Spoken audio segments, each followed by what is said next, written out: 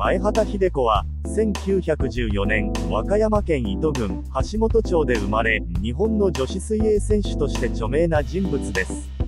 紀の川で泳ぎを覚え、反太平洋女子オリンピック 100m 平泳ぎで優勝。1932年、ロサンゼルスオリンピック 200m 平泳ぎに出場し、銀メダルを獲得。大会後、家庭の事情で引退も考えたが、周囲の大きな期待に押され、現役続行を決意。1936年、ベルリンオリンピック 200m 平泳ぎに出場し、地元ドイツ選手に1秒差で勝利。日本人女性として五輪史上初めての金メダルを獲得し、1987年に君山東随宝賞を受賞。日本女性スポーツ界で初となる文化功労者に選出され、橋本氏名誉市民に選ばれました。